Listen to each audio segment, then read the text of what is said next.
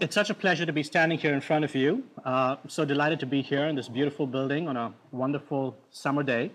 Thank you, Mark, for inviting me and to Spitfire for that uh, very generous uh, introduction. Uh, as Mark noted, a couple years ago, I wrote this book called The Hidden Brain, which looks at the different ways in which unconscious factors affect us in everyday life. And I'm going to, I'm going to talk about uh, two or three of those ideas that, are drawn from how the hidden brain affects communication today. I'm especially honored to be here because um, I'm the third speaker in this series, and the first two speakers, Dan Kahan and Sendhil Mullainathan, have both been heroes to me for a very long time for doing some of the most creative and rigorous, empirically rigorous work that looks at human behavior. And so it's a real honor for me to be standing here, third in line uh, behind them. uh, one of the things I did uh, in this last week was I went back and listened to the talks that Dan and Sendhil had given.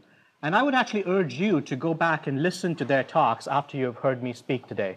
Because as I listened to them, I realized that in many ways we're actually circling around some of the same ideas and circling around them from different perspectives. And I think going back and listening to them will give you sort of this, you know, Rashomon type effect where you're sort of looking at the same idea, same issue from sort of different perspectives. But it also raises a larger issue, which is human behavior is extremely complex.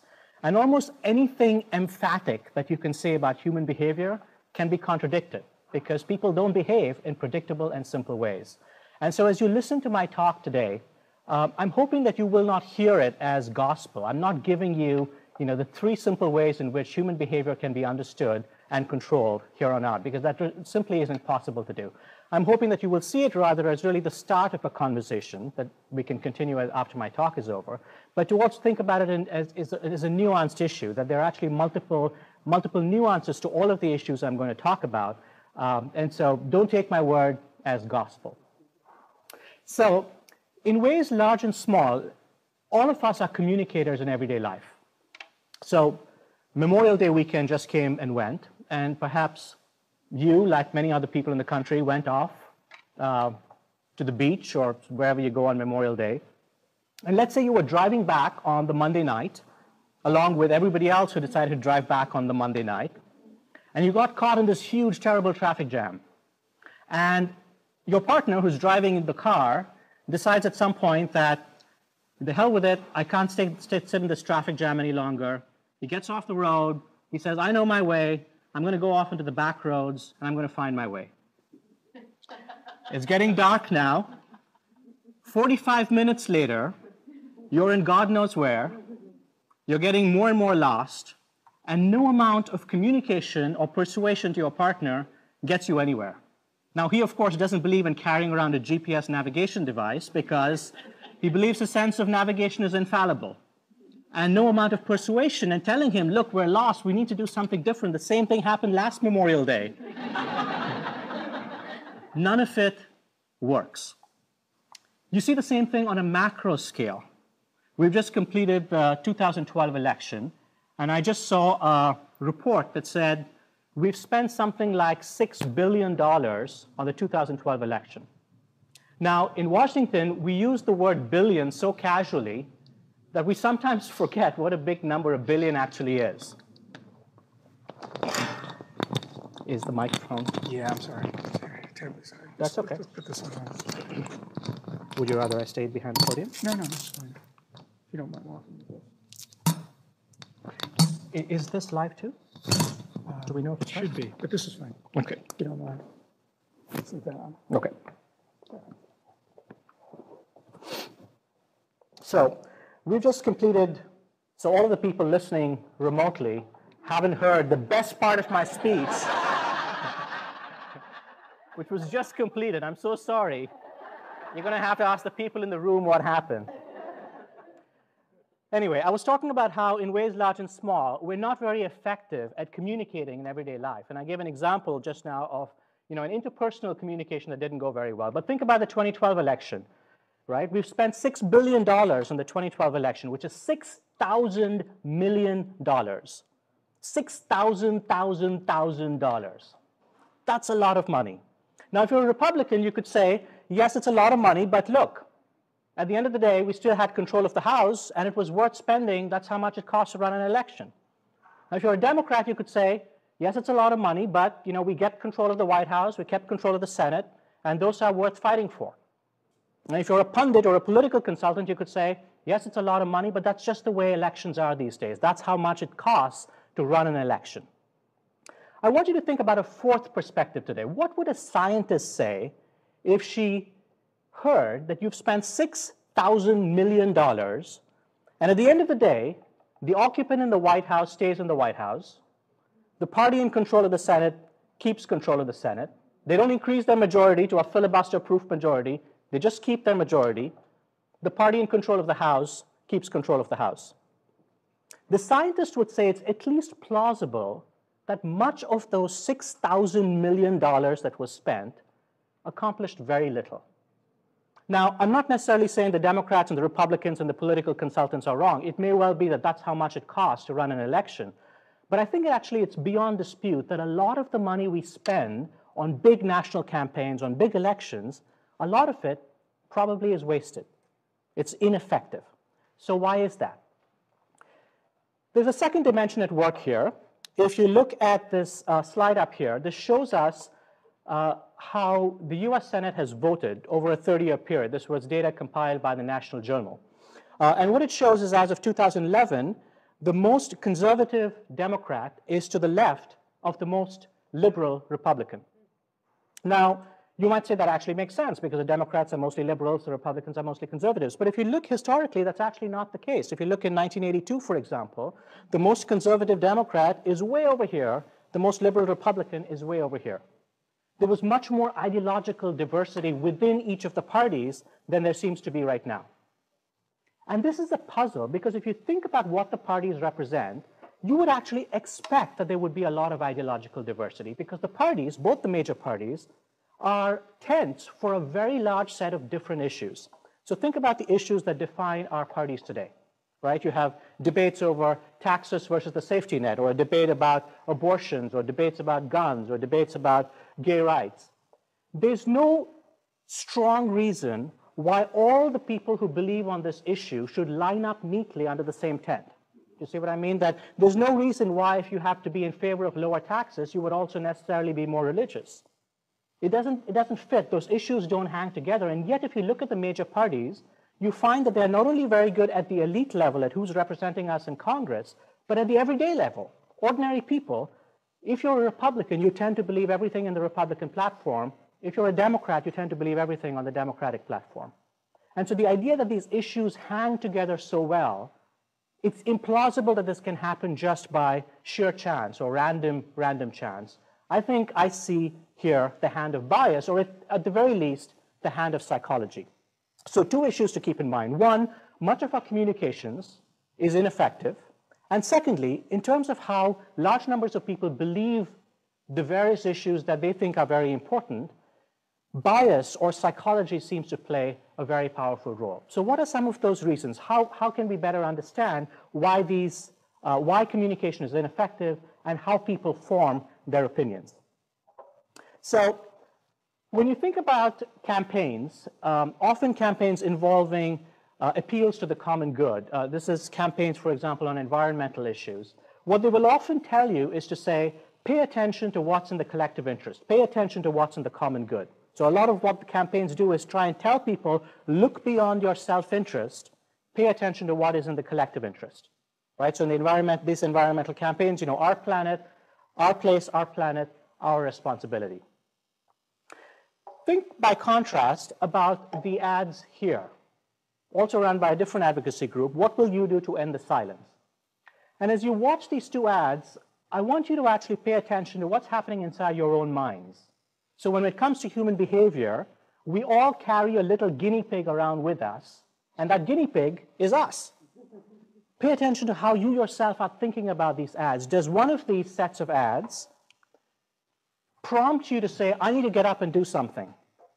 Or is one of them, are they both equivalent? Think about how they affect you and think about why it might be they affect you in that way. A couple months ago, I uh, did a story for NPR that looked at the work of a social scientist at Stanford University called Maryam Hamedani, and she studies cross-cultural issues. And one of the ideas she was exploring is she said, if you look at American history, if you look at our culture, if you look at the people who become our movie stars and the heroes in our novels and our books, what you will often find is that there's a very strong strain in America of independent minded thinking. That in America, the idea of independence is a foundational idea, perhaps more than in any other country in the world. The idea of liberty and personal autonomy are really foundational to who it is, what it is to be an American. So she said, and this was based on some earlier work that has also uh, explored this area, what happens when you ask people who are steeped in the language of individual liberty to subsume their self interest, to subsume their sense of autonomy, and think about the common good? What happens if you ask people who are independent minded to set aside their independence and think about the common good? And she ran a set of experiments where she brought people in, volunteers, and she primed them, which is psychological speak for subliminally induce them, to think about concepts that are either uh, that activated concepts of independence or concepts of interdependence, concepts of independence or interdependence. And then she gave them a bunch of physical and mental tasks to do. And what she found was very interesting. She found that at least for a subset of the volunteers, being primed to think interdependently, think about collective, greater good, the common interest, lowered their ability to function well on mental and physical tasks. So one of the tasks they gave, she gave them was, for example, a test of hand grip strength. You know, if you're holding a, uh, you know, weights in the gym, how, how much, how tightly can you hold on to this and how long can you hold on to it? And she found that when she primed the volunteers to think interdependently, they were able to hold on less often. They were able to exert less strength or for less amount of, less amount of time. So we'd say, all right, so that's about hand grip strength. So why should we care about that? This is not, this lecture and this conversation is not about hand grip strength. We don't really care about that. Hamedani said, how does this affect policy issues? How does this affect how people think about policy questions? And so she said, let's imagine a situation where Stanford University is thinking of starting a new course that places environmental issues and environmental sustainability at the heart of the curriculum, that it's going to be essential for all students to learn about environmental issues. It's going to be an essential part of your experience at Stanford. She again primed the volunteers to think independently and interdependently. And what she found, and she asked, how much do you think the university should get behind such an effort? As a way to measure how much people thought the issue was important. How much, how much money do you think the university should invest per student to make this course a central part of the curriculum. And what she found was very interesting. She found that when it came to some subgroups, so if the Asian, Asian Americans here are in blue, when it came to Asian Americans, being primed to think interdependently did what you and I might expect it would do, which is that when you prime the Asian Americans to think interdependently, they became more willing to support an environmental cause. So they're more willing to support a cause where the university puts more resources behind an issue. But she found with European Americans, it worked very differently. That priming them to think interdependently significantly lowered their willingness to get behind that program. And on the other hand, priming them to think independently made them much more willing to get behind a program. So in other words, it's the same program, it's the same message, but the question is, are you putting people in a frame of mind where you're talking in ways that are consistent with their inner values or talking in ways that are disconsonant with their inner values. Right? And so what she's basically exploring is this idea, a very old idea in psychology, an idea called cognitive dissonance, which is that you know, people don't like being pulled in multiple directions at the same time. And so when you communicate to people, if you don't communicate your message in a way that's consistent or consonant with their values, even if they agree with you on the issues, they're much less likely to support you. Does that make sense? So, uh, when you look at American culture, independence is really foundational. From the founding documents of our nation to the heroes and the stories we tell, really focus on the independent individual. Taken together, our studies show that, um, in fact, interdependent behavior can be a barrier to motivation for European Americans, and that um, this can have important consequences in terms of how they support social issues. So, when you think about policy messages, that was a short excerpt from something from an interview I conducted with Hamedani.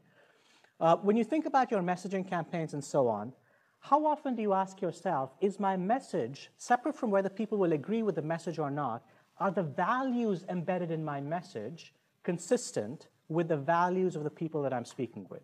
Now, it's entirely possible, and even in a group like this, 200 people sitting in front of me, the values of the people here are going to be very different. You're all not going to share the same values, so it's possible that your message might need to change depending on who you're speaking with. But think about very often how we communicate the messages, and sometimes the mixed messages we send at the level of values when we communicate about important issues. So, this is President Obama right uh, after the Newtown school shootings, where he called for stricter gun control legislation. And I want you to listen to a short excerpt of something that, that the president said, but listen to it now with the context of saying what are the values that are being activated in different parts of his message. Listen. This is the land of the free, and it always will be. As Americans, we are endowed by our Creator with certain inalienable rights that no man or government can take away from us. But we've also long recognized, as our founders recognized, that with rights come responsibilities. Along with our freedom to live our lives as we will comes an obligation to allow others to do the same. We don't live in isolation. We live in a society, a government of and by and for the people. We are responsible for each other. So if you listen to that message, there are really multiple values being activated. So he starts out basically talking about how we're the land of the free and we're always going to be. But then he also pivots to basically say, look, we have these other obligations to one another. And both of those are embedded in the same message. Now, at a messaging level, that doesn't feel irrational. But at the level of how you're speaking to people's values, it may well be that one part of the message resonates with them, but the other part of the message does not resonate with them. So, if you think, for example, on the other side of this issue, on the issue of guns, if you think about how the gun rights movement frames the issue, I think what you will find is far more consistent messaging on the idea that gun rights speak to questions involving autonomy, liberty, freedom. That on a consistent basis, what you will hear across the spectrum from people who advocate for gun rights is that this is an American tradition, these are American values, this is American autonomy. You see the flag, you see the signs of, you know, signals of patriotism. The messaging, the values, in some ways, are more consistent with the way many people might think about, you know, their own behavior. So, when you think about the issues that I mentioned a little while ago, um, there's a way to think about these issues now, not as sort of policy questions, but in terms of this values that are being, that Hamedani is talking about. And if you look at all of these issues, I think they actually break down in a kind of interesting way. So on the question of safety net versus lower taxes, I would argue the people arguing for lower taxes are speaking the language of individual rights and individual autonomy. That you know every man for himself, sort of. That you know the, we, uh, the safety net is much more an argument about the common good and shared responsibility. If you think about abortion, on the other hand, the people arguing that a woman has the right to choose are speaking the language of individual autonomy, that it's the, up to the individual to decide what he or she wants to do. And the people who are against uh, abortion rights, the pro life groups are speaking much more about tradition, values, our shared sense of responsibility. So these issues don't necessarily break down in a left right kind of manner. There are issues on which the left espouses individual autonomy, and there are issues on which the right espouses individual autonomy. On the question of gun control and gun rights, I think it's very clear that the side that's arguing for gun rights is speaking the language of autonomy, and the people who are arguing for gun control are saying we should control that autonomy. We should control how much we're able to express our individual autonomy. On defense issues, it's a little more complicated, but I would argue that the people who see, you know, the lone soldier climbing up the hill and planting the flag at the top of the hill, you know, that message or that idea is much more consistent, I think, with hawkish views on military issues compared to, you know, an anti-war position on military issues. With religious, on religious versus secular ideas, the people arguing in favor of secular values are clearly speaking much more the language of individual liberty. On the question of gay rights, beyond a question, the people arguing in favor of gay rights are making an argument in favor of individual liberty. Whereas the people, their opponents, are basically saying, no, there are larger traditions, there are larger obligations, there are things that we have that should oppose them. Now, you may not necessarily agree with the way that I have divided these issues, or you might not also agree with which version or which side I believe is ascendant, but I believe on multiple of these issues, the side that is espousing the cause of individual liberty and individual autonomy is increasingly ascendant, that you're much more likely to have an effective message when you're arguing the language of individual liberty. Now, this doesn't necessarily mean that if you're an environmental group, you, you know, espousing individual values doesn't mean now you can tell people, all right, go out and trash the planet because that's individual liberty. That's not what I'm saying. Your message can still be what your message wants it to be, but in terms of the values you're espousing in the message, those values can be tailored to either activate concepts of interdependence or concepts of independence. Um, I grew up in India and I read and know a great deal about Mahatma Gandhi's life, but I had never come by this quote from Gandhi be the change you want to see in the world until I came to the United States. now, I'm not necessarily saying that Gandhi didn't say this. I'm not suggesting. I'm not suggesting the quote was fabricated. I'm sure Gandhi said it.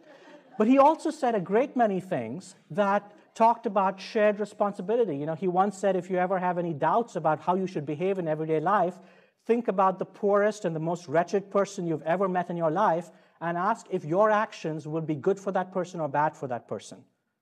But that's not the kind of quote that gets popular in the United States. right? The reason this quote resonates so much in the United States is partly because Gandhi said it, yes, but partly also because the quote resonates with a deeply held American value, the value for independent thinking, for autonomy. Here's a second issue. When we message on, when we give out messages that often involve humanitarian causes, disease or hunger or malnutrition, one of the rules of thumb we often use is the idea that we need to communicate how big the problem is. And at a certain level, that's perfectly logical, because if you can say 10 people are suffering from a problem, or a million people are suffering from a problem, clearly telling people that a million people are suffering from a problem ought to be a more effective message because many more people are in need of help, right? Think about the message. Hunger and malnutrition are still the number one risks to health worldwide, a sense of the scale of the problem. Or think about this. Every 3.6 seconds, uh, a person dies of hunger. 75% of them are children. Now, in the gap between my last two sentences, if that last statistic is correct, someone in the world may have died of hunger. Why are you all still sitting here listening to me? Isn't there something more important that you should be doing? I just told you a horrifying statistic, and if the statistic is true, it suggests that on a routine, everyday basis, huge numbers of people are dying from something that is entirely preventable. Go back to that guinea pig inside your head and ask yourself at one level, you hear the statistic and you say, My God, that's appalling. But that doesn't necessarily translate into your, into your saying, I want to do something about it. So recognizing that there's a problem doesn't necessarily translate into action. And often what we're looking for is not just intellectual, you know, someone being an intellectual sympathy to what you're saying, but what we're looking for is action.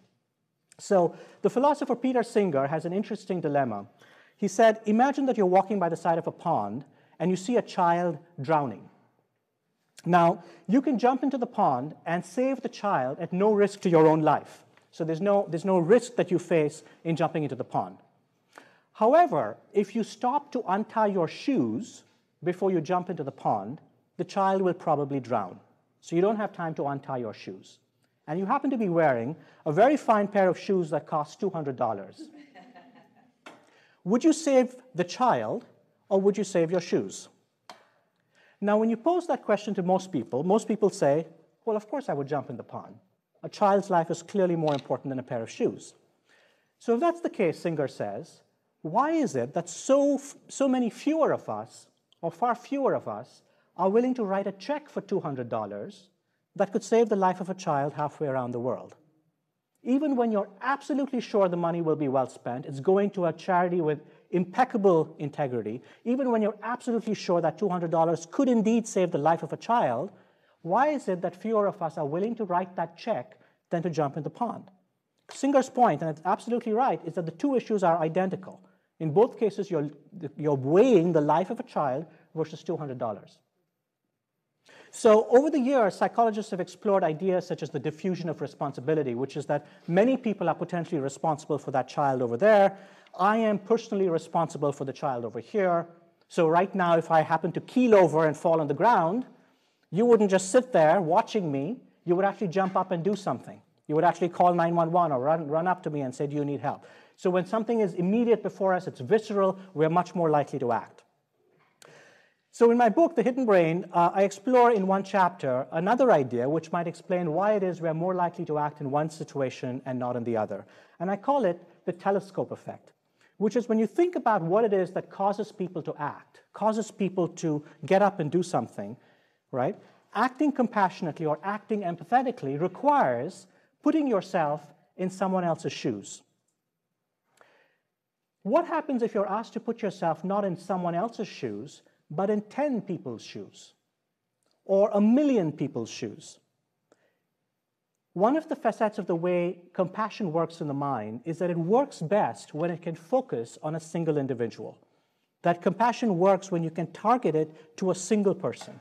That paradoxically, telling you about 100 people in need of help might induce you to do much less than telling you about one person in need of help. So, uh, in my book, I write about uh, the story about uh, an Indonesian uh, tanker. It was a diesel tanker that roamed the Pacific Ocean.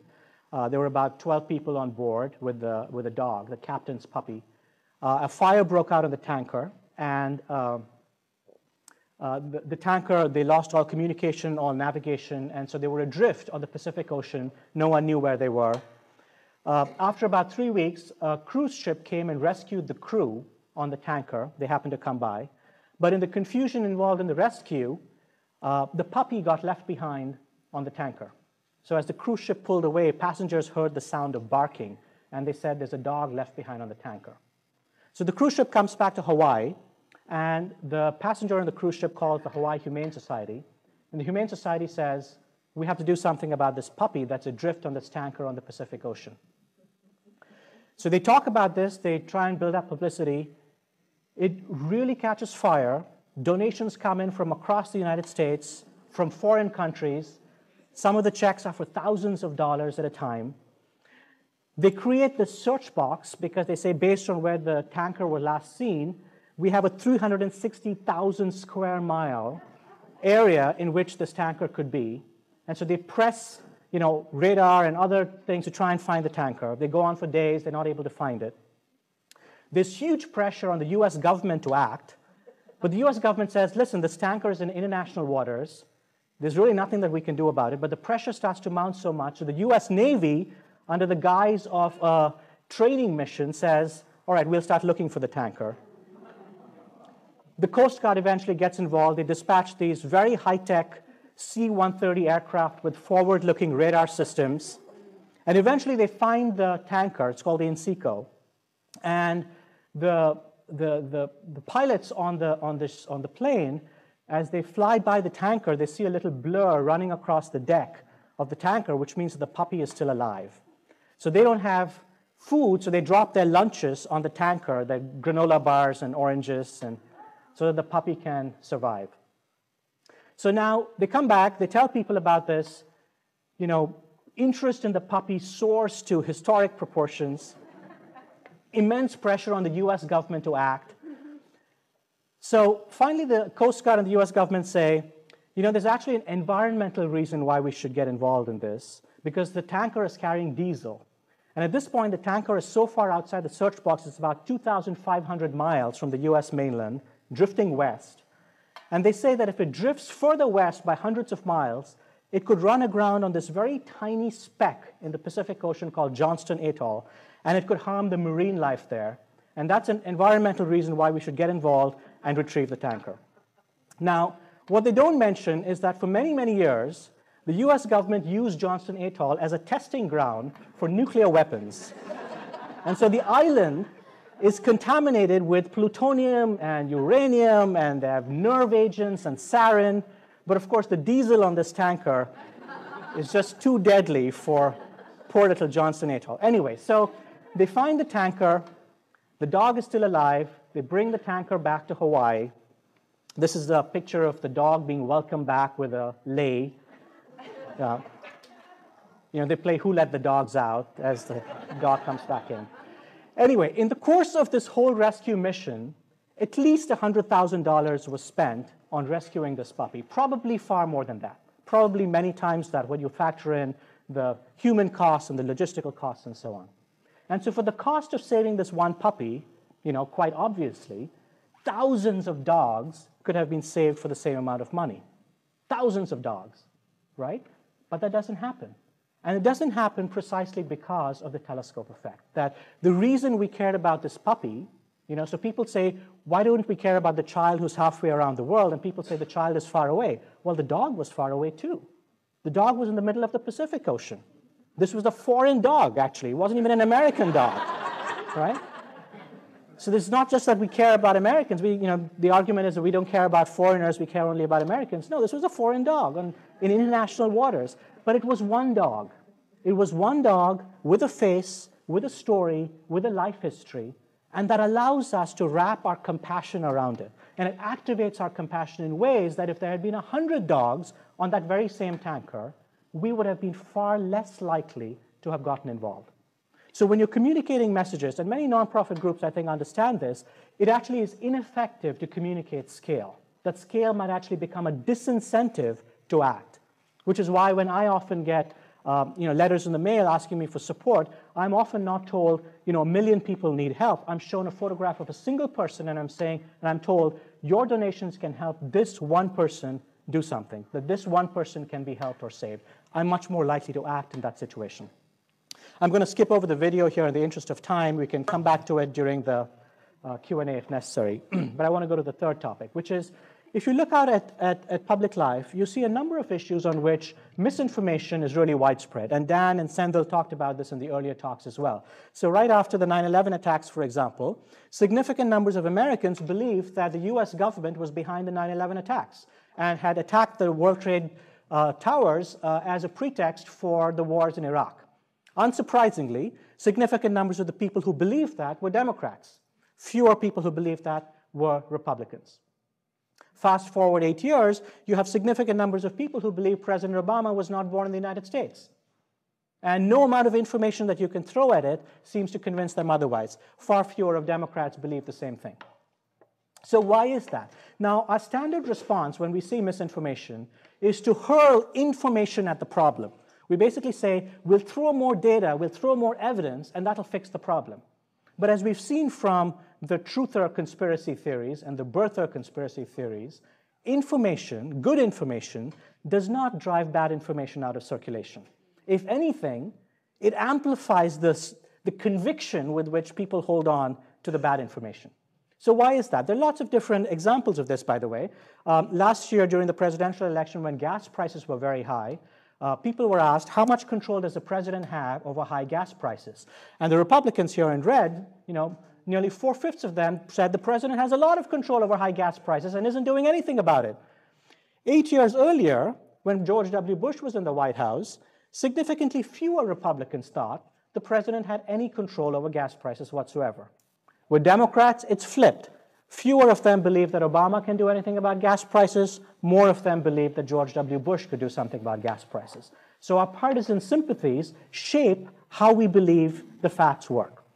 So this is not surprising. Many of us know that this is, this is the case. The question is, what do we do about it? Because hurling information at the problem clearly does not work.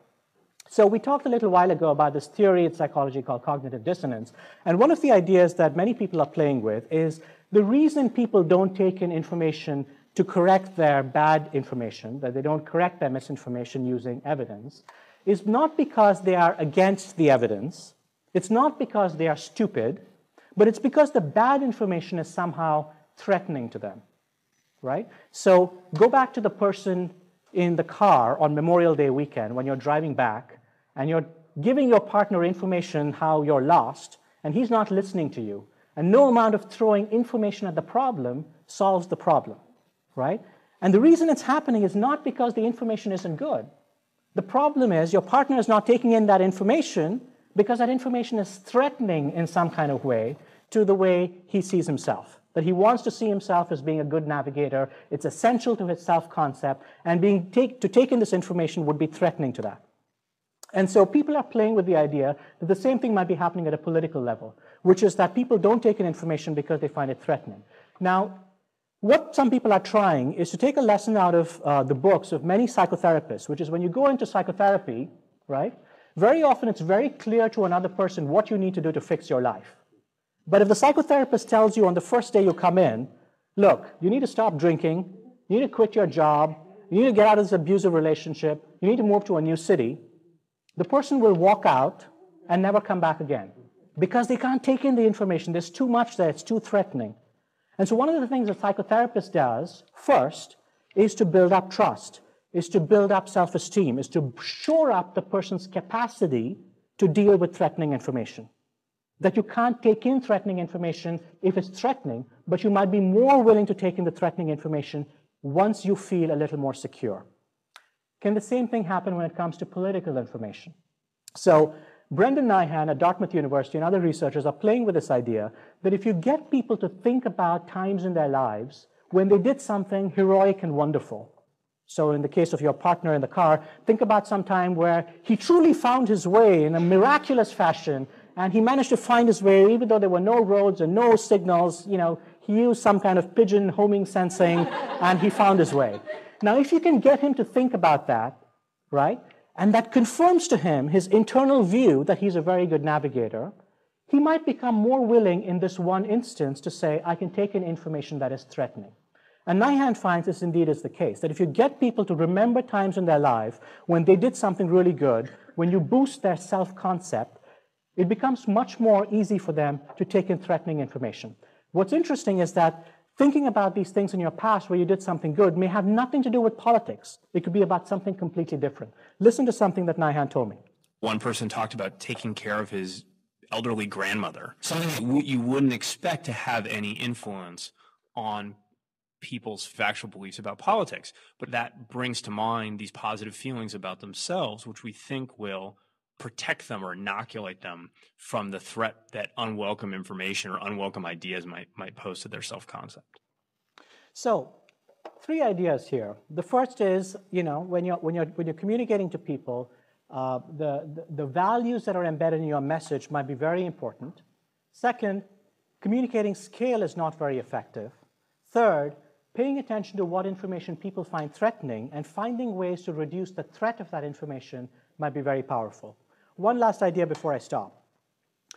When most of us think about bias, we think about other people who have biases.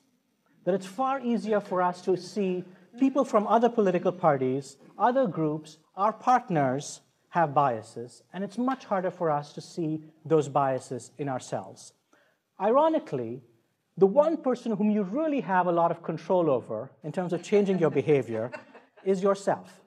Now, as you're listening to my talk, it's understandable that you would say, you're thinking, how can I use this to persuade other people? And there's nothing, there is, there is nothing wrong in that. There is nothing wrong in that.